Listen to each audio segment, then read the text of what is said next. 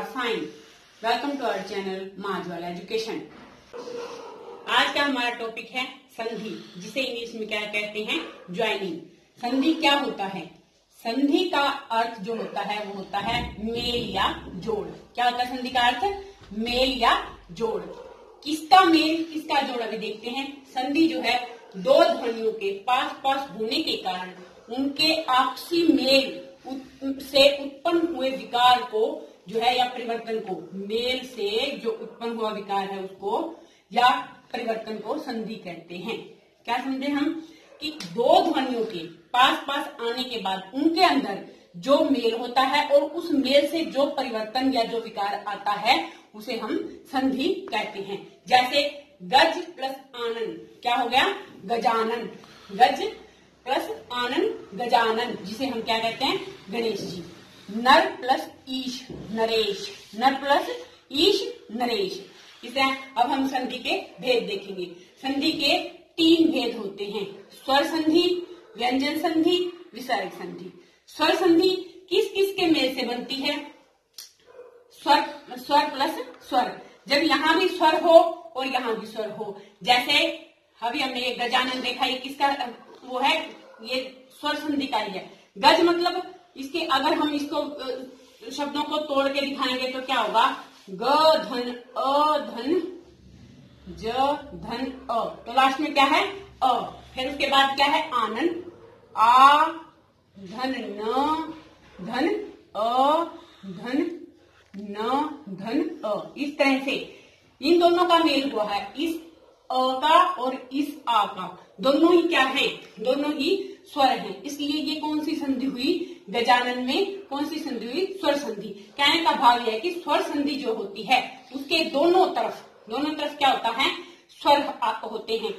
आ हो, ई हो, ऊ हो, कुछ भी हो, लेकिन हो सकता होता है दोनों साइड। ओनली केवल केवल स्वर। दोनों पास, दोनों और स्वरों का जब मेल होता है तो उसे हम क्या कहेंगे? स्वर संधि कहेंगे। इसी तरह आगे देखते हैं। व्यंजन संधि। व्यंजन संधि में हमने मोस्टली जो बुक्स है, उनमें क्या पढ़ा है? व्यंजन प्लस स्वर और व्यंजन प्लस व्यंजन को जो है व्यंजन संधि कहते हैं। लेकिन नहीं, कुछ अपवाद हैं जो हम पेपर में आते हैं, उसके बाद देखते हैं और हमें तब पता चलता है। स्वर अगर स्वर शुरू में है और व्यंजन बाद में है तो भी वो क्या होगी? व्यंजन का अर्थ क्या है? यहाँ हम पहले व्यंजन का अर्थ समझते हैं। जिस भी वर्ण के नीचे, जिस भी व्यंजन के नीचे जो है हलंत लगा हो, वो क्या होता है? व्यंजन है। चाहे कोई भी यहाँ पर व्यंजन हो, उसके नीचे अगर हलंत लगा है, कहने का भाव ये है कि उसके अंदर स्वर का स्वर का मिश्रण न हो तो वो क्या कहलाता है? व्यंजन कहलाता है। जैसे अगर हम इसको क लिखते हैं तो ये किस किस का मेल है? क धन, अ। इसी तरह से न जो है, किस किस का है? न, धन, अ। सभी में अ का योग होता है जब हम ए अ लिखते हैं उसके उसमें। लेकिन व्यंजन कब होता है जब उसके नीचे हलंत लगा होता है। अगर हलंत नहीं लगा हुआ तो वो समझ लो कि वो क्या है? वो स्वर है, क्योंकि उसके अंदर अ का योग होता है। अ क्या है? अस्वर है। तो यहाँ हम क्या कौन सी संधि देख रहे हैं? व्यंजन संधि देख रहे हैं। तो इसलिए व्यंजन संधि जो हो, उसके अंदर एक एक तरफ़ तो ज़रूर हलंत वाला, जो है, वर्ण आना ही आना चाहिए। चाहे प्लस से इधर हो, चाहे इधर हो, किसी भी साइड हो, एक तरफ़ ये वाला अगर वर्ण है, जिसके नीचे हलंत लगा हुआ तो वो क्या होगा? व्यंजन संधि होगा, या दोनों तरफ़ भी अगर हलंत है तो आधे, आधा वर्ण बन के वो भी क्या बनेगा? वो भी व्यंजन संधि ही बनेगी। इसके बाद हम देखते हैं विसर्ग संधि। विसर्ग का मतलब हम क्या लेते हैं? विसर्ग जो अंग है, हमने में किया था ना, ये जो होती है दो बिंदु ये क्या होता है? ये विसर्ग का साइन होता है, जिसे हम क्या बोलते हैं? है कि है कि साउंड में, है कि आवाज़ में हम इसको इस्तेमाल करते हैं तो इसे क्या कहेंगे? इस जिसके अंदर ये विसर्ग हो मतलब कि है की आवाज़ आती है तो उसे हम क्या कहेंगे? विसर्ग। तो इसीलिए जैसे नम है प्लस ते, क्या बन ये? ये है नमस्ते, नम प्लस ते। ये जो है, इस, इसका आगे जब डिटेल में करेंगे तब मैं इसको बताऊँगी कि इस, इसके क्या क्या स्वर बनते हैं व्यंजन बनते कि कौन कौन से व्यंजनों के रूप में इसको लिया जाता है या इसमें कौन सी मात्रा बनती है ये मैं आपको डिटेल में बताऊँगी जब इसके रूप करेंगे। लेकिन जिसमें पहली साइड ये है जैसे अभी मैंने नया प्रश्न का बताया ना तो इस सबसे एक साइड पहली साइड जो होता है ये विसर्ग का निशान होता है। उसके बाद चाहे स्वर हो चाहे व्यंजन हो तो ये कौन सी संधि होगी? ये विसर्ग संधि होगी। इस प्रकार हमने देखा जब दोनों तरफ़ स्वर होते हैं तो वो कौन सी संधि होगी? स्वर संधि। स्वर, धन, व्यंजन। स्वर और व्यंजन का मेल होगा तो वो व्यंजन संधि होगी। व्यंजन के साथ स्वर का मेल होगा तो भी वो व्यंजन संधि होगी। दोनों तरफ़ अगर व्यंजन है तो भी वो कौन सी संधि होगी? व्यंजन संधि होगी। एग्ज़ाम्पल के साथ मैं आपको इसे बड़ी डिटेल में करवाऊँगी। विसर्ग और उसके साथ से स्वर हो, या विसर्ग उसके साथ व्यंजन हो तो ये कौन सी संधि होगी? विसर्ग संधि। इस तरह हमने ये तीनों देखे, अब इनको डिटेल में देखते हैं। स्वर संधि। स्वर संधि किसे कहते हैं? दो स्वरों का आपस में मेल जब होता है तो उसमें जो विकार आता है, उसे हम क्या कहेंगे? स्वर संधि। क्या कह रही मैं? भी जब दोनों तरफ़ स्वर हो, दो स्वरों का आपस में मेल होता है और उसमें जो विकार आता है, उसे क्या कहते हैं? उसे स्वर संधि कहते हैं। जैसे इति प्लस आदि। इति प्लस आदि क्या होगा इत्यादि। क्या होगा? इत्यादि। इति में क्या है? स्वर ई। और आदि में क्या है स्वर आ। तो ई धन आ क्या बन गया? या। इति प्लस आदि इत्यादि, ई धन आ क्या बन गया? या। इसलिए क्या बन गया? इति प्लस आदि इत्यादि। ये क्या है? स्वर संधि। आगे देखते हैं स्वर संधि के भेद। स्वर संधि। स्वर संधि के पाँच भेद होते हैं। कौन कौन से होते हैं? सबसे पहले हम करेंगे दीर्घ संधि। दीर्घ संधि में क्या है?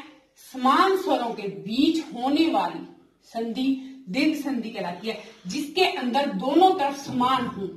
दोनों तरफ़ स्वर जो है समान होते हैं, जैसे आ धन बड़ा आ बड़ा आ धन छोटा आ, छोटी ई धन बड़ी ई, इसी तरह बड़ी ई धन छोटी ई, या छोटा ऊ, उसमें बड़ा धन, बड़ा ऊ। इस तरह से जब इनका मेल होता है और मात्राएँ जो है, बड़ी आती हैं, बड़े आ की मात्रा, बड़ी ई की मात्रा और बड़े ऊ की मात्रा तो उसे क्या करेंगे हम? दीर्घ संधि इसमें केवल तीन ही स्वर आते हैं, आ, ई और ऊ। आ मात्रा कौन कौन सी आती है? आ, ई और ऊ जिसके अंदर आ और आ का मेल होता है, ई और ई का मेल होता है ऊ और ऊ का मेल होता है और मात्राएँ क्या बनती है? आ, ई और ऊ की मात्राएँ बनती हैं। जैसे, हम एक एग्ज़ाम्पल देखते हैं। ए धन ए, क्या बनता है? आ, ए धन ए, आ, कैसे बनता है? सत्य धन अर्थ। सत्य धन अर्थ क्या बन गया? सत्यार्थ। सत्यार्थ। कैसे बन गया? य य को अगर हम व्यंजन बनाएँगे तो इसके अंदर का स्वर हमें पता चलेगा कि स्वर क्या है इसके अंदर। क्या है अ? तो क्या हो गया? य, धन, अ धन, अ, क्या बन गया? या। मतलब कि दोनों अ जो है, बड़े आ की मात्रा, बड़ा आ बन गया तो ये क्या हो गया? या। क्या बन गया? सत्य प्लस अर्थ, सत्यार्थ। सत्य प्लस अर्थ, सत्यार्थ। दोनों ए मिलकर आ हो गई। इसके बाद है ए धन, आ क्या बनता है? आ। कैसे? दश प्लस आनंद। दस प्लस आनंद दशानंद दश इसमें श है। श के अंदर अगर हम स्वर निकालते हैं तो क्या है? अ का स्वर है। श, धन, अ, धन, आ। क्या बन गया? शा। मात्रा क्या बन गई? बड़े आ की। दोनों का मेल होने के बाद किसकी मात्रा बनी है? बड़े आ की मात्रा बनी है। और क्या बन गया? दस जमा आनंद दशानंद आगे देखते हैं। बड़ा आ धन, छोटा अ। क्या बन गया? आ। इसकी भी देखते हैं एग्ज़ाम्पल परीक्षा प्लस अर्थी। परीक्षा प्लस अर्थी ये कई बार वही कॉम्पिटेटिव एग्ज़ाम्स में भी आता है। अर्थी की जगह हम कई बार आर्थी बना जाते हैं तो हमारा ये गलत हो जाता है आप ज़रूर देखें। परीक्षा प्लस अर्थी होता है। तो इसमें क्या होगा? परीक्षार्थी। अक्षय अक्षय में से भी अगर हम स्वर निकालेंगे तो ये क्या होगा? व्यंजन बन जाए। अक्षय धन, आ धन क्या बन गया? क्षा, परीक्षा, परीक्षार्थी। अक्षा हो गया तो क्या बन गया? परीक्षा धन, अर्थी, परीक्षार्थी। इसके बाद आ धन आ उसका तो आ होना ही है, क्योंकि दोनों बड़े आ होकर अब मिलकर भी क्या बनाएँगे? बड़े आ की मात्रा ही बनाएँगे, जैसे विद्या प्लस आल्य विद्या प्लस आल्य विद्यालय विद्यालय। यह य में कौन सा स्वर है? आ का। और आगे क्या है? आ का। दोनों आ मिलकर क्या बने? आ की मात्रा, बड़े आ की मात्रा ही इन्होंने बनाई तो या बन गया इसलिए विद्या प्लस आल्य विद्यालय। आगे देखते हैं, छोटी ई प्लस छोटी ई, क्या बनी? बड़ी ई, कैसे बनी? कवि प्लस इंद्र। कवि छोटी की मात्रा, छोटी की मात्रा लगी हुई ना, और ये भी छोटी ई है। कवि प्लस इंद्र। कविंद्र। कविंद्र, बोल के आप बोलोगे तभी आपको मात्रा का पता चल जाएगा। कवि प्लस इंद्र, कविंद्र। व, धन, ई, धन ऊ क्या बन गया? वी। इसी तरह से सारे ही क्या बन गए? स्वर व्यंजन बन गए। ठीक है? तो व धन ई धन ई, क्या बन गई वी? इसलिए क्या बन गया? कवि प्लस इंद्र, कविंद्र। इसके बाद छोटी ई प्लस बड़ी ई, क्या हो गया? बड़ी ई। प्रति प्लस इच्छा प्रति प्लस इच्छा प्रतीक्षा। यहाँ कौन सी की मात्रा है? छोटी ई की मात्रा। और ये कौन सी है? बड़ी ई। तो दोनों दोनों ने मिलकर क्या बनाई है मात्रा? बड़ी ई मात्रा। त धन छोटी ई धन बड़ी क्या बनेगी ती। तो क्या हो गया? प्रति प्लस इच्छा प्रतीक्षा। इसके बाद है, बड़ी ई धन छोटी ई तो भी बड़ी ई ही बनेगी जैसे देवी प्लस इच्छा। देवी, बड़ी की मात्रा लगी हुई है। देवी प्लस इच्छा, देवी इच्छा। व धन बड़ी ई धन छोटी ई तो क्या बनेगी वी। ठीक है? देवी प्लस इच्छा, देवी इच्छा। इसी तरह बड़ी ई प्लस बड़ी ई क्या हुई? बड़ी ई। श्री प्लस ईश। श्री प्लस ईश, श्रीश। श्री प्लस ईश, श्रीश। श्र धन ई धन ई श्री। तो क्या बन गया? श्री प्लस ईश श्रीश इसके बाद ऐसे ही ऊ की होगी। छोटा ऊ प्लस बड़ा ऊ। क्या हो गया? छोटा ऊ प्लस छोटा ऊ। क्या हो गया? बड़ा ऊ। जैसे लघु प्लस उत्तर। लघु में छोटा ऊ मात्रा है और ये भी छोटा ऊ है। लघु प्लस उत्तर लघुत्र ध धन ऊ धन ऊ घू। क्या बन गया? घू। इस तरह से लघु प्लस उत्तर लघुत्र इसी प्रकार छोटा ऊ, धन बड़ा ऊ तो भी बड़े ऊ की मात्रा ही बनेगी, बड़ा ऊ ही बनेगा। जैसे मधु प्लस ऊष्मा, मधु प्लस ऊष्मा, मधु के छोटे की मात्रा है, ऊष्मा बड़ा ऊ है। तो मधु प्लस ऊष्मा क्या हो गया? मधुष्मा ध, धन ऊ धन ऊ, धू। क्या बन गया? मधु प्लस ऊष्मा मधुष्मा इसके बाद बड़ा ऊ, धन छोटा ऊ तो भी बड़ा ऊ भी बनेगा। जैसे वधु प्लस उत्सव वधु प्लस उत्सव, क्या बन गया? वधुत्सव वधुत्सव तो यहाँ ध, धन ऊ धन ऊ ध्रू। क्या बन गया? धू वधु प्लस उत्सव, वधुत्सव। ऐसे ही बड़ा ऊ धन, बड़ा ऊ क्या बन गया? बड़ा ऊ मतलब कि बड़े ऊ की मात्रा बनेगी। हाँ बड़ा ऊ कहने का मतलब है कि बड़े ऊ की मात्रा बनेगी। तो भू प्लस ऊर्जा, भूर्जा। भू प्लस ऊर्जा, भूर्जा। तो ये कौन सा की मात्रा है? बड़े ऊ की मात्रा है। भूर्जा। भ धन ऊ धन ऊ क्या बन गया? भू इस तरह से भूर्जा बन गया। कहने का मतलब है कि बड़ा ऊ धन, बड़ा ऊ, बड़ा बड़े ऊ की मात्रा आएगी, भू प्लस ऊर्जा, भूर्जा। इस तरह से हमने देखा दीर्घ संधि, बाकी स्वरों के स्वर संधि के भेद अभी देखते हैं। हम कर रहे थे स्वर संधि के भेद। कितने भेद बताए थे मैंने? पाँच भेद बताए थे। दीर्घ संधि, गुण संधि, वृद्धि संधि, यण संधि और अयादि संधि। दीर्घ संधि हम लोगों ने कर ली, अब हम आगे हैं गुण संधि पे गुण संधि। गुण संधि क्या होती है? यदि ए और आ के बाद ई ई, आई तो क्या हो जाता है? ए, छोटी ए एडी बन जाता है।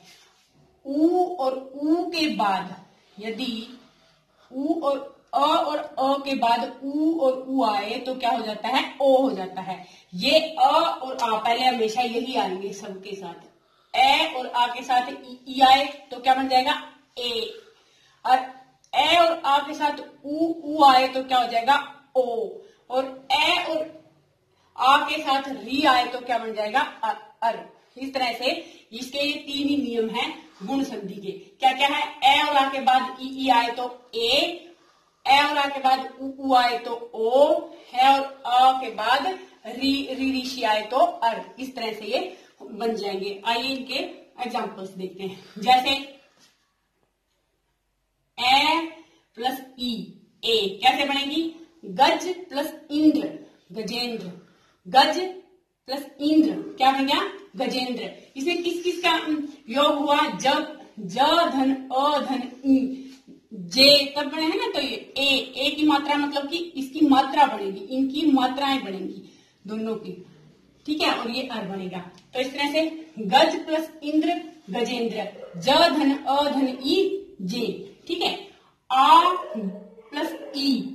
इसका भी ए बनेगा, जैसे महा प्लस इंद्र, महा प्लस इंद्र, महेंद्र। यहाँ क्या था? ह, धन, आ, धन, ई, हे बढ़िया था ना? तो महा प्लस इंद्र, महेंद्र। इसी तरह से ए धन, बड़ी, ई तो भी ए एडी बनेगी ए एडी की मात्रा मतलब ए की मात्रा आएगी। जैसे देव प्लस ईश। देव प्लस ईश क्या बन गया? देवेश। देव प्लस ईश, देवेश। किस किस की यहाँ पर संधि हुई है? किस किस का योग हुआ यहाँ पर? व धन, अ धन, ई, वे बन गया। तो इसलिए क्या है? ए की मात्रा बन गई। हमने ये देखना है कि मात्राएँ किस किस की बन गई एक की मात्राएँ। ए की मात्रा यहाँ पर बन गया। देव प्लस ईश देवेश इसके बाद आ प्लस ई, ए। ए की मात्रा बनेगी। जैसे उमा प्लस ईश। उमा प्लस ईश, उमेश। इसमें किस किस की किस किस की का योग हुआ है? आ और ई। म, धन, आ प्लस ई, में बन गया। तो उमा प्लस ईश, उमेश। इसी तरह अगला नियम देखते हैं, इसमें ये तीन ही नियम है गुण संधि में। दूसरा नियम क्या है? अ प्लस उ। क्या बन गया? ओ। मतलब कि छोटे ओ की मात्रा आएगी, ये वाली मात्रा आएगी। यहाँ पर ये मात्रा आएगी, ठीक है?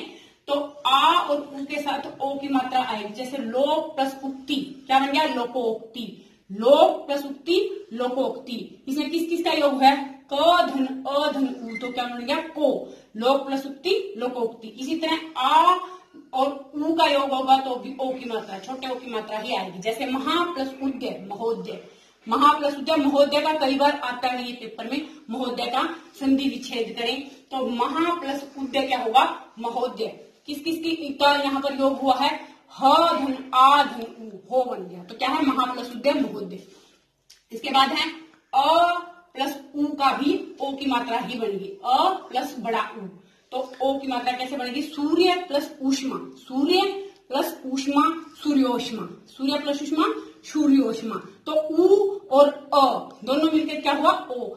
जैसे रे प्लस अ प्लस ओ, क्या बन गया? रेव क्या बन गया? रेव तो ओ की मात्रा यहाँ पर बन गई। सूर्य प्लस उष्मा, सूर्योष्मा। उसके बाद है बड़ा आ प्लस बड़ा ऊ। तो क्या इस, इस, इसकी क्या मात्रा बनेगी बड़े छोटे ओ की मात्रा बनेगी सबके साथ छोटे ओ की मात्रा बनेगी ये दूसरा नियम है हमारा गुण संधि का। आ प्लस बड़ा उ ओ। महा प्लस उर्मी। महा प्लस उर्मी महोर्मी। महा प्लस उर्मी महोर्मी। यहाँ किस किस की के बीच जो है योग हुआ है जोड़ हुआ है? ह प्लस आ प्लस ऊ। क्या बन गया? हो। तो क्या हुआ? महा प्लस उर्मी महोर्मी। इसके बाद तीसरा नियम है इसका। अ प्लस री, अद। अ प्लस री, अद। कैसे? सप्त प्लस ऋषि, सप्तर्षि। सप्त प्लस ऋषि, सप्तर्षि। अ और री का योग हुआ है अर बना है इसलिए सप्त प्लस ऋषि, सप्तर्षि। इसी प्रकार आ और री री। आ और री का योग यहाँ भी अर ही बनेगा जैसे महा प्लस ऋषि, महा प्लस ऋषि, महर्षि। ये आ की मात्रा नहीं बोली यहाँ पर, क्योंकि अर बन गया ना? अ बन गया। यहाँ पर जैसे आ की मात्रा कई बार हम महर्षि बना देते हैं तो वो गलत हो जाता है, ये भी कई बार आता है। ये एग्ज़ाम्पल भी ऐसा है जो हमेशा पेपर में आता है। सप्तर्षि, महर्षि है और ये महोदय ऐसे ऐसे जो है हमेशा आते हैं, गजेंद्र, महेंद्र। इसलिए मैंने एग्ज़ाम्पल लिए हैं ताकि आप लोगों को यहाँ देखने से ही दोबारा पढ़ने की ज़रूरत नहीं पड़े। तो महा प्लस ऋषि, महर्षि, क्या बनेगा? महर्षि, क्योंकि अर बन गया था यहाँ पर। क्या बन गया था? अर। आ प्लस अर। तो यहाँ क्या बना? सप्त प्लस ऋषि सप्तर्षि। महा प्लस ऋषि महर्षि। ये था हमारा गुण संधि का पूरा डिटेल में टॉपिक अब तीसरे नंबर पर आते हैं वृद्धि संधि। स्वर संधि में तीसरे नंबर पर आते हैं वृद्धि संधि। वृद्धि संधि की पहचान क्या होती है? जब ए और आ के बाद ए और आई हो तो आई की मात्रा आती है। और ए और आ के बाद ओ, औ हो तो औ की मात्रा आती है। इसमें ये दो ही, केवल इसमें ये दो ही नियम है। ए और आ के बाद ए, आई आए तो आई की मात्रा, और ए और आ के बाद ओ और औ आए तो औ की मात्रा। ऐसे एग्ज़ाम्पल के द्वारा देखते हैं। ए प्लस ए क्या बनेगी? आई। जैसे एक प्लस एक एक एक। प्लस एक एक एक। इसमें किसकी किस किस का योग हुआ है? क प्लस अ प्लस ए क्या बन गया? आई। इसी तरह हित प्लस एशी, हितैषी। हित प्लस एशी क्या बन गया? हितैषी। कौन सी मात्रा हुई? आई की मात्रा। त प्लस अ प्लस ए क्या बन गया? आई ई की मात्रा लगेगी?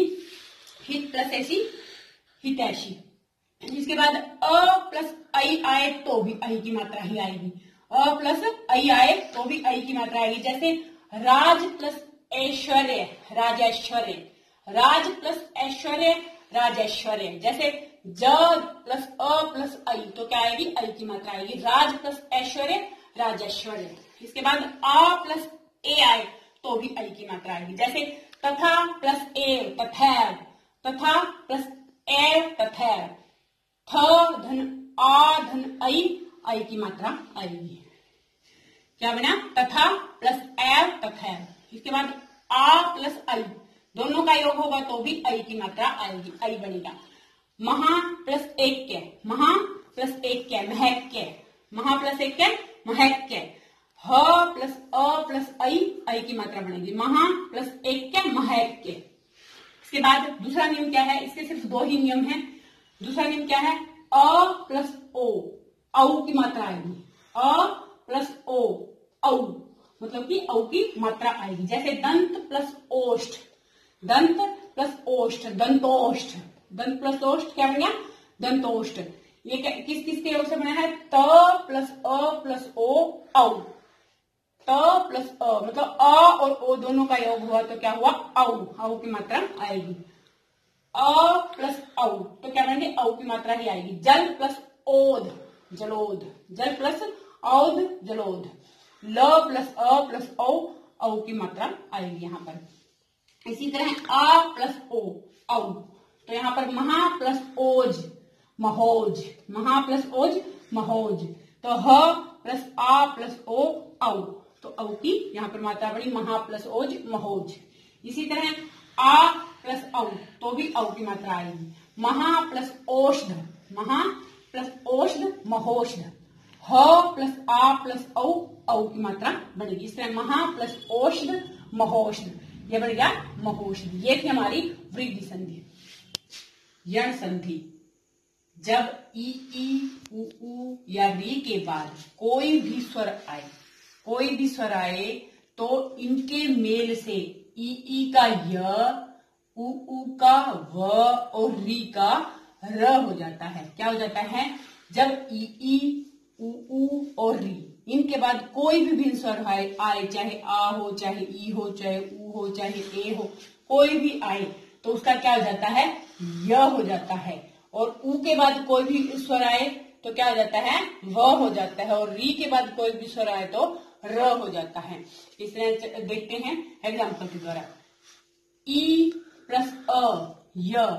ई प्लस अ, य। जैसे अति प्लस अंत, अत्यंत। अति प्लस अंत अत्यंत। यहाँ छोटी ई और ए जो है, इन दोनों को मिलकर क्या बना है? ये। ई और ए का को जब यहाँ पर संधि किया गया है, जोड़ा गया है तो क्या बन गया? ये। अति प्लस अंत अत्यंत। ई प्लस आ, या। ई प्लस आ, या। जैसे अभी प्लस आगत, अभ्यागत। अभी प्लस आगत, अभ्यागत। यहाँ छोटी ई और बड़ा आ मिलकर क्या हो गए या हो गए अभी प्लस आगत, अभ्यागत। ई प्लस अ, बड़ी ई प्लस अ, य। ई कोई सी भी हो। अ अगर आता है, इसके बाद तो क्या होगा? य। और बड़ा आ आता है तो ये क्या होगा? या। बड़ी ई प्लस अ, य। जैसे देवी प्लस अर्पण, देव्यर्पण। देवी प्लस अर्पण, देव्यर्पण। बड़ी ई प्लस छोटा अ का क्या बन गया? य। देवी प्लस अर्पण देव्यर्पण इसके बाद है बड़ी ई प्लस बड़ा आ या जैसे सखी प्लस आगमन। सखी प्लस आगमन, सख्यागमन। सखी, बड़ी ई प्लस बड़ा आ। दोनों मिलकर क्या हुए? या। सखी प्लस आगमन, सख्यागमन। छोटी ई प्लस छोटा ऊ बन गया यू, या तो छोटा ऊ यू।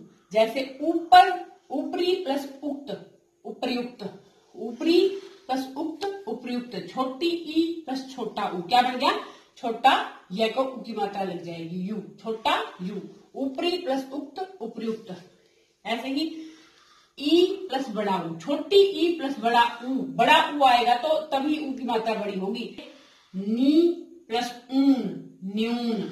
नी प्लस ऊन, न्यून। न को छोटी ई, बड़ा ऊ क्या हो गया? यह को बड़े ऊ की मात्रा, न्यून। आगे है, बड़ी ई प्लस छोटा ऊ बड़ी ई प्लस छोटा ऊ या को छोटे ऊ की मात्रा। अगर छोटा ऊ है तो छोटे ऊ की मात्रा, बड़ा ऊ है तो बड़े ऊ की मात्रा। चाहे ई कोई सी भी हो, छोटी हो या बड़ी हो। ठीक है? बड़ी ई प्लस छोटा ऊ छोटा, या को छोटा ऊ जैसे सखी प्लस उद्य, सखी उद्य, सखी प्लस उद्य, सखी उद्य। बड़ी ई और छोटा ऊ का क्या बना छोटा ऊ की मात्रा होगी यह के यू। बड़ी ई प्लस बड़ा ऊ यू या को बड़ा ऊ जैसे नदी प्लस उर्मी, नदुर्मी. नदी प्लस उर्मी, नदुर्मी. तो बड़ी ई और बड़ा ऊ मिलकर क्या होगा या को बड़ा ऊ हो गया. ई और ए ये. ई प्लस ए ये. जैसे प्रति प्लस एक प्रत्येक. प्रति प्लस एक प्रत्येक. यहाँ छोटी ई और छोटी ए दोनों का योग होने के बाद को एक की मात्रा हुई है, इसलिए प्रति प्लस एक, प्रत्येक। बड़ी ई प्लस आई आई की मात्रा बनेगी यह क्या बनेगी? यह देवी प्लस ऐश्वर्य, देव्यश्वर्य। देवी प्लस ऐश्वर्य, देव्याश्वर्य। इसी तरह उ प्लस अ, व। अनु प्लस अ अन्वय। अनु प्लस अ अन्वय। छोटा उ और छोटा अ मिलकर क्या बने? व। आगे देखते हैं। छोटा उ प्लस आ, वा। छोटा उ प्लस बड़ा आ, वा। गुरु प्लस आदेश गुरुवादेश गुरु प्लस आदेश क्या बन गया? गुरु आदेश या छोटा उ, ये छोटा उ है और ये बड़ा आ है। तो क्या हो गया? दोनों मिलकर वाह हो गया। गुरु प्लस आदेश, गुरुआदेश। बड़ा उ प्लस बड़ा आ वाह जैसे वधु प्लस आदेश, वध्वादेश। बड़ा उ और बड़ा आ मिलकर क्या बनेंगे? वाह बनेंगे। वधु प्लस आदेश, वधवा वेश। वधवा देश उ प्लस ई, वी। छोटा उ प्लस छोटी ई, वी। वै को छोटी की मात्रा बनेगी। जैसे अनु प्लस इति, अनविति।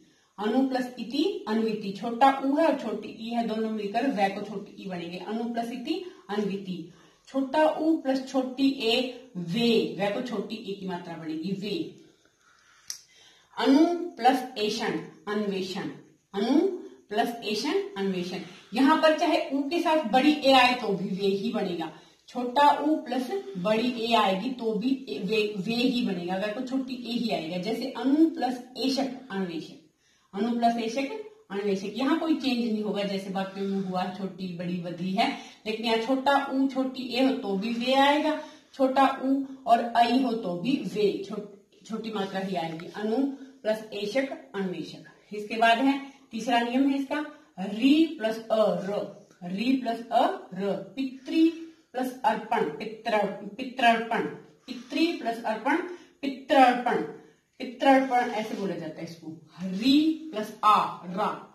री प्लस आ क्या बना? रा। जैसे मातृ प्लस आदेश, मात्रादेश। मातृ प्लस आदेश, मात्रादेश। री की मात्रा और आ, दोनों मिलकर क्या हुए?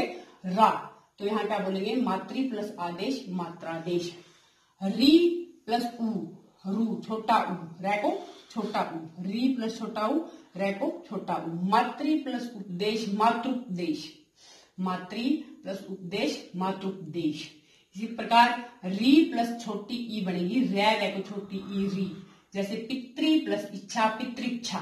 पितृ प्लस इच्छा, पितृच्छा। री की मात्रा और छोटी ई। दोनों मिलकर क्या बनेंगे? रै को छोटी की मात्रा। तो पितृ प्लस इच्छा पितृच्छा ये हमने देखा यण संधि अयाधि संधि। अयाधि संधि की पहचान क्या होती है? यदि पहले शब्द के अंत में ए, आई, ओ, औ और दूसरे शब्द के आरंभ में कोई भी भिन्न स्वर हो, कोई भी भिन्न स्वर हो तो ए का अय आई का आय ओ का औ और औ का आ हो जाता है। क्या बताया मैंने? यदि पहले शब्द के अंत में मतलब पहला शब्द जो है संधि का पहला जो शब्द है, उसका अंतिम जो वर्ण है, वो ए, आई, ओ, औ, हो, और दूसरे जो शब्द है, उसका आरंभ में कोई भी भिन्न स्वर हो तो ए का आय, आई का आय, और ओ का औ, और औ का आ हो जाता है तो इसे क्या कहेंगे? अयाद संधि। कहेंगे। देखते हैं एग्ज़ाम्पल के द्वारा। जैसे ए प्लस अ अय जैसे शे प्लस अन शयन शे प्लस अन शयन यहाँ ए, ए ए की मात्रा और ए दोनों का मिलन हुआ तो क्या हुआ? अय शे प्लस अन शयन चे प्लस अन चयन चे प्लस अन चयन आई प्लस अ आय। जैसे गै प्लस अक गायक। गै प्लस अक गायक। गै प्लस अन, गायन। गै प्लस अन, गायन। ओ प्लस अ, औ। ओ प्लस अ, औ। जैसे भो प्लस अन, भवन। ओ ओ और ए दोनों का मेल हुआ तो क्या हुआ? औ। भो प्लस अन, भवन। पो प्लस अन, पवन। पो, ओ प्लस अ का जो मेल हुआ तो क्या हुआ? अव तो क्या हुआ? पो प्लस अन, पवन। इसी तरह से देखते हैं। औ प्लस अ, आ। औ प्लस अ, आ। जैसे पो प्लस अक, पावक। पौ प्लस अक, पावक। यहाँ बड़े उप मात्रा, औ की मात्रा और अ की मात्रा। अ, दोनों मिलकर क्या बने हैं? आव। धो प्लस अक, धावक। धो प्लस अक, धावक। एक पहचान और है इसकी। अयादि संधि में जो होता है, मुख्य रूप से तीन वर्णों का शब्द बनता है।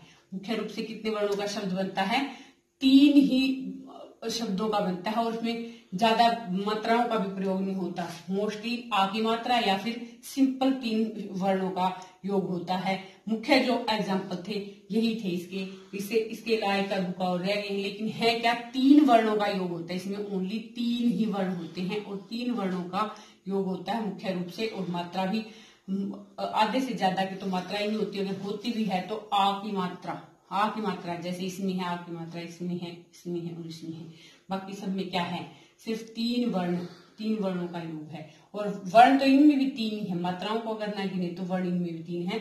तो मेरे कहने का भाव ये है कि अयादि जो संधि है, उसमें आप लोगों को बिल्कुल आसान पहचान करने का तरीका है ये कि तीन उनके योग जो होगा तो तीन वर्णों का योग होगा। आप ये ज़रूर देखिएगा। और कई बार मोस्टली ये आता आते भी यही हैं जो थोड़े से टफ लगते हैं, जैसे शे प्लस अन शयन बना देते हैं कई तो यहाँ शयन बनेगा। तो इसलिए देखना है कि यहाँ पर मुख्य रूप से जो है तीन वर्णों का योग होगा। वही जो होगा, वो अयादि संधि होगा। ये हमने देखा, स्वर संधि का पूरा टॉपिक व्यंजन संधि। किसी व्यंजन का स्वर या व्यंजन से मेल होने पर जो विकार उत्पन्न होता है, उसे क्या कहते हैं? व्यंजन संधि। भी किसी भी व्यंजन के बाद या स्वर आए, या स्वर के बाद व्यंजन आए तो उसके मेल से जो भी विकार उत्पन्न होता है तो उसे क्या कहते हैं? व्यंजन संधि कहते हैं। जैसे सत प्लस जन, सज्जन, सत प्लस जन, सज्जन। ये जो है व्यंजन संधि का उदाहरण है। इसके बाद देखते हैं व्यंजन संधि के नियम। सबसे पहले देखते हैं वर्ग। वर्ग बताया था मैंने का वर्ग, चवर्ग, टवर्ग, ये पाँच वर्ग हैं तो वो वर्ग ये। वर्ग के पहले वर्ण का, तीसरे वर्ण में परिवर्तन। सबसे पहला नियम है व्यंजन का भी। पहले, वर्ग का पहला जो व्यंजन है, उसका तीसरे व्यंजन के रूप में परिवर्तन कैसे होता है? क का ग में परिवर्तन। क का ग में परिवर्तन कैसे होता है? दिक प्लस अंबर, दिगंबर। दिक प्लस अंबर, दिगंबर। दिक प्लस गज, दिग्गज। दिक यहाँ पर आधा है, इसलिए यहाँ पर भी आधा लगा है, ये इसका मतलब है ये शब्द बन गया। द्वितीय का मतलब होता है एक आधा और एक पूरा। तो ये क्या होता है? द्वितीय वर्ण होता है तो क्या हुआ ये? क का ग में परिवर्तन हुआ। दिक प्लस अंबर, दिगंबर, दिक प्लस गज, दिग्गज। च का ज में कैसे होता है? अच प्लस अंत, अजंत। हच प्लस अंत, अजंत। त का द में। उत घाटन उद्घाटन। उत उद्घाटन। उत प्लस यम, उद्यम। उत प्लस यम, उद्यम। दूसरा नियम देखते हैं। वर्ग के पहले वर्ण का पाँचवें वर्ण में परिवर्तन। ये तो था वर्ग के पहले वर्ण का तीसरे वर्ण में परिवर्तन। अब है वर्ग के पहले वर्ण का पाँचवें वर्ण में परिवर्तन कैसे होता है? देखते हैं। क का अढ़ में परिवर्तन। जैसे वा प्लस में। क का अढ़ मतलब कवर्ग का ही लास्ट पांचवा वर्ण है ना? तो क का अड़ में कैसे होता है? वाक प्लस में वाड़म में वाक प्लस में क्या बन गया? वाड़म में त का न में सत्य प्लस मार्ग सन मार्ग सत्य प्लस मार्ग सन मार्ग त का न में परिवर्तन हो गया। हलंत इसलिए लगा रखे क्योंकि विसर्ग व्यंजन संधि तभी होगी जब इसके नीचे क्या नाम इसका? हलंत होगा। और हलंत का मतलब होता है कोई भी वर्ण जो है वो आधा है। तो त और न, दोनों, त का न में परिवर्तन कैसे होता है? सत प्लस मार्ग, सन मार्ग। ट का अण में ट जो पहला वर्ण है, इसका पांचवा वर्ण अणय है, उसमें कैसे परिवर्तन होता है? षट प्लस मास, क्षण मास। षट प्लस मास, क्षण मास। त का न में परिवर्तन। त का न में परिवर्तन देखते हैं। उत प्लस नति, उन्नति। उत त का न में परिवर्तन होगा। ये आधा त है, इसलिए यहाँ पर आधा न ही आएगा। यहाँ आधा ट था, इसलिए यहाँ पर आधा अण ही आया। उत प्लस नति, उन्नति। उत प्लस नति, उन्नति। अपना तीसरा जो है, तीसरा नियम हम देखते हैं त का नियम। तीसरा नियम जो है, क्योंकि त से बहुत ज़्यादा आते हैं तो त का नियम कौन कौन से होते हैं त में? देखते हैं पहले, त के साथ अगर च का योग होता है आधा त है और उसके साथ च का योग होता है तो च जो है द्वित वर्ण हो जाता है। आधा च और पूरा च हो जाता है, द्वित वर्ण च हो जाता है। कहने का मतलब है कि एक आधा च और एक पूरा च। जैसे उत प्लस चारण उच्चारण उत प्लस चारण त का क्या बन गया? आधा च। उत प्लस चारण उच्चारण त का छ में कैसे, त और छ का जब मेल होता है तो चच्छ बन जाता है। त का आधा त और छ, दोनों का जब मेल होता है तो च छ चच्छ बन जाता है। जैसे तत् प्लस छाया, तत् छाया, तत् प्लस छाया, तत् छाया। तो प्लस ज, जज।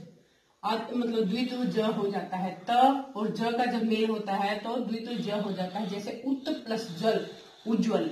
ये जो उज्जवल है ना, ये जो है, शुद्ध अशुद्ध में भी मोस्टली आता है। इसको आपने ध्यान रखना है। दोनों ज जो होते हैं, वो आधे होते हैं। क्योंकि यहाँ त तो है, ये भी आधा है और ये ज है, ये भी आता है। इसलिए दोनों ही ज क्या होंगे? आधे होंगे। उत प्लस ज्वल, क्या बन गया? उज्ज्वल। जिसके दोनों ज जो है, वो आधे आधे हैं। तो उत प्लस जल उज्ज्वल। त का, जब त के साथ योग होता है तो तट बन जाता है। त, जब त का, त में योग होता है, क्या होता है? ये भी द्वित ट बन जाता है, टट। जैसे बृहत प्लस टीका बृहत प्लस टीका बृहत टीका बृहत टीका क्या बोलेंगे इसको? बृहत टीका मतलब दोनों ट बन जाएँगे बृहत टीका इसके बाद है त का जब ड़ में जो योग होता है तो ड़ भी जो है द्वित बन जाता है डड़ डड़ जैसे उत प्लस डैन, उत प्लस डैन उड्डैन उत प्लस डैन, त का क्या बन गया? आधा ड बन गया। उत प्लस डैन उड्डैन इसी तरह से त और ल जब मिलते हैं तो ल भी द्वित हो जाता है। त प्लस ल लल उत प्लस लास, उल्लास, उत प्लस लास, उल्लास। त जब ह, त और ह का जब योग होता है, त प्लस ह, दध। त और ह का जब योग होता है तो क्या बन जाता है?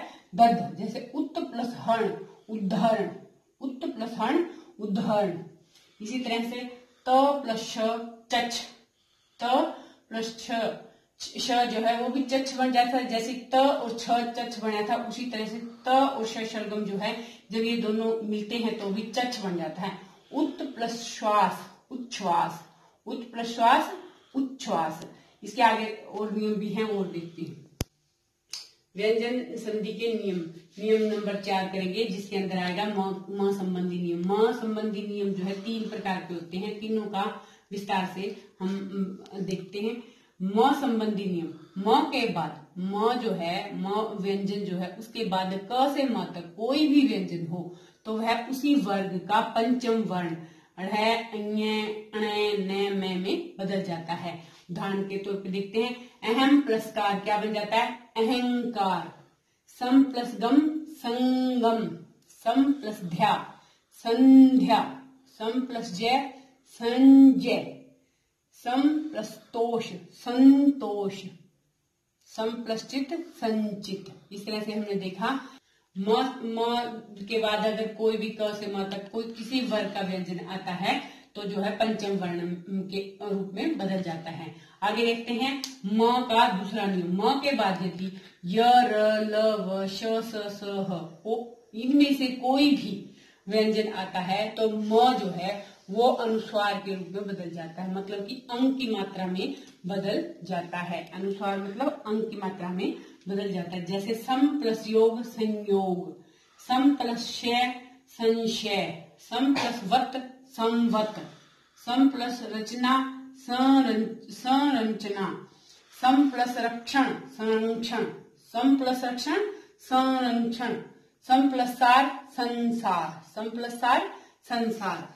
तीसरा नियम देखते हैं मैं का म के बाद यदि म ही आए पहले भी म है और बाद में भी म आए तो म जो है द्वितु में बदल जाता है। द्वितु का मतलब होता है आधा म और पूरा म। किसमें बदल जाता है? द्वितु का मतलब क्या होता है? जि, जिसमें दोनों ही वर्ण म हो एक आधा और एक पूरा। जैसे द्वितु वर्ण होता है म और म ये इसमें बदल जाता है। जैसे सम प्लस मति सम्मति। सम प्लस मति सम्मति। सम प्लस मान सम्मान।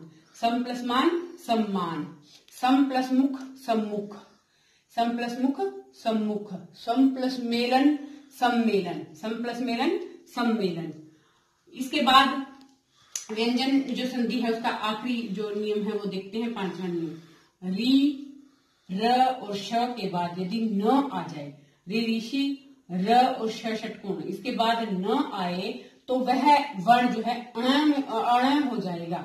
अण के रूप में परिवर्तित परिवर्तित हो जाएगा। और ये ये जो है, इसके अंदर मैं बताऊँगी आप लोगों को कि यहाँ पर क्या है, स्वर के बाद व्यंजन आया है। स्वर प्लस व्यंजन वाली संधि है, स्वर प्लस व्यंजन। जैसे परि प्लस नाम परिणाम परि प्लस नाम, परिणाम।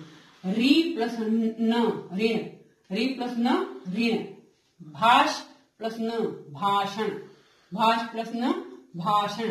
त्रिश प्लस न, तृष्णा। तो ये कौन सी संधि ये कौन, कौन सा रूप था व्यंजन संधि के अंदर? पहले स्वर आया है उसके बाद व्यंजन आया है। तो स्वर और व्यंजन का मेल जो है इस इसके ऊपर वो नियम जो है लागू होता है।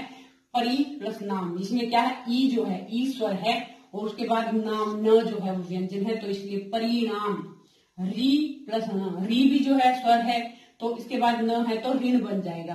भाष यहाँ पर अस्वर आता है। भाष प्लस न भाषण। त्रिश, यहाँ भी अस्वर आता है तो त्रिश प्लस न तृष्णा। ये था हमारा पूरा व्यंजन संधि का टॉपिक विसर्ग संधि। विसर्ग मतलब जब अंग है के दो बिंदिया आती है ना, इसे हम विसर्ग कहते हैं। विसर्ग के बाद स्वर या व्यंजन आने पर उसके मिल से जो विकार होता है, उसे क्या कहते हैं? विसर्ग संधि कहते हैं। जैसे मनय प्लस रथ, मनोरथ। मनय प्लस रथ, मनोरथ। विसर्ग संधि के कुछ नियम देखते हैं। विसर्ग संधि के नियम कौन कौन से होते हैं? विसर्ग का श श, स में परिवर्तन। विश शलगम षटकोण और सलेट में परिवर्तन कैसे होता है? च और छ जो है, वो श शलगम में परिवर्तित होते हैं, श में परिवर्तित होते हैं। च और छ, श में परिवर्तन परिवर्तित होते हैं। क, ख, ट, ठ, प, फ। ये जो है श षटकोण में परिवर्तित होते हैं तथा त और थ जो है वो स में परिवर्तित हो जाते हैं। छ श में क, ख, ट, ठ प फ में और त, थ जो है स स्लेट में परिवर्तित हो जाते हैं। जैसे नी प्लस छल निश्चल, नी प्लस चल निश्चल, नि प्लस फल निष्फल, नि प्लस फल निष्फल। फ जो है किसमें परिवर्तित हुआ? देखो षटकोण में परिवर्तित हो गया। और छ जो है, किसमें परिवर्तित हो गया? शलगम में परिवर्तित हो गया। लेकिन ये आएँगे सारे ही आधे। आधे आएँगे, देखो आगे आगे भी देखते हैं। दु प्लस चरित्र दु प्लस चरित्र दुष्चरित्र च जो है, किसमें बदल गया? श में हादा श में इसके बाद है, नम प्रस्ते नम प्रस्ते, नमस्ते। नम प्रस्ते, नमस्ते। ठीक है? उसके बाद है, नी प्लस तेज निस्तेज। नी प्लस तेज है तो स में परिवर्तित हो गया। नी प्लस तेज, निस्तेज। दू प्लस कर, दुष्कर। दुह प्लस कर, दुष्कर। इस तरह आगे देखते हैं, विसर्ग का दूसरा नियम। विसर्ग का र में परिवर्तन होना। विसर्ग जो है वो र में कैसे परिवर्तित होता है, इसके एग्ज़ाम्पल देखते हैं। जैसे दु प्लस गुण। दु प्लस गुण, दुर्गुण। दु प्लस गुण, दुर्गुण। नी प्लस जन, निर्जन। नी प्लस जन निर्जन। दु प्लस आचार, दुराचार। दु प्लस आचार, दुराचार। दु प्लस बल, दुर्बल। दु प्लस बल, दुर्बल। नि प्लस उत्तर, निरुत्तर। नी प्लस उत्तर, निरुत्तर। नी प्लस धन, निर्धन। नी प्लस धन, निर्धन। आगे देखते हैं तीसरा नियम। विसर्ग का ओ में परिवर्तन होना। ओ की मात्रा में परिवर्तन होना, छोटे ओ की मात्रा में कैसे परिवर्तित होती है एग्ज़ाम्पल देखते हैं। जैसे मन प्लस बल, मनोबल। मन प्लस बल, मनोबल। मन प्लस रंजन, मनोरंजन। मन प्लस रंजन, मनोरंजन। अधय प्लस गति, अधोगति। अधय प्लस गति, अधोगति। इसके बाद है विसर्ग। विसर्ग जो है, चौथा इसका जो नियम है, विसर्ग का लोप भी हो जाता है, या फिर मात्रा बड़ी हो जाती है। लोप होना मतलब विसर्ग के जगह पे और कुछ नहीं आएगा, सिर्फ़ जो ई की मात्रा होगी वो बड़ी हो जाएगी। जैसे नी प्लस रस नीरस नी प्लस रस नीरस नी प्लस रज नीरज नी प्लस रज नीरज ये जो है हमने देखा विसर्ग, संधि के के बारे में पूरा डिटेल से। अब विसर्ग संधि के बारे में बताते हुए मैं यही कहूँगी कि भाई विसर्ग संधि जो है, मुख्य रूप से यही नियम है किस किसमें परिवर्तित होते हैं? श श, स में परिवर्तित होती है, या फिर र में, या फिर ओ की मात्रा में, या फिर इसका लोप हो जाता है। यही चार इसके नियम हैं जो कि आप लोगों को करनी है। इसके बाद जब हमने संधि का पूरा टॉपिक कर ही लिया तो संधि विच्छेद के बारे में थोड़ा देख लेते हैं। संधि का मतलब था जोड़ना ज्वाइनिंग करना मतलब वर्णों को जोड़ देना। वो संधि था, लेकिन संधि विच्छेद क्या होता है विच्छेद का मतलब होता है अलग करना।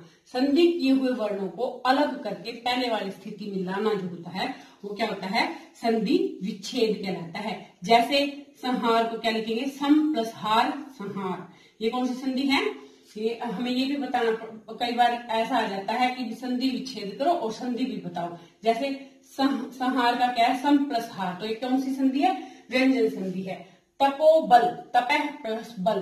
तपोबल तपह प्लस बल, ये कौन सी संधि है? ये विसर्ग संधि है। वेदांत, वेद प्लस अंत वेदांत, ये कौन सी संधि है? ये स्वर संधि है। इस तरह से संधियाँ आ सकती हैं, उनका विच्छेद करके उनके नाम भी लिखना आप लोगों को प्रैक्टिस करनी पड़ेगी। ये हमने आज डिटेल से अपना ये टॉपिक किया है, संधि का। ये था हमारा आज का टॉपिक संधि, जो हमने बड़े डिटेल से किया। आशा करती हूँ कि आपको पसंद आएगा और आप इसे ज़रूर लाभ उठाएँगे और अपने एग्ज़ाम्स में ये आपके लिए उपयोगी होगा। इस वीडियो को लाइक करें, शेयर करें, इसके बारे में कमेंट करें और हमारे चैनल को सब्सक्राइब करें। Thank you, have nice day.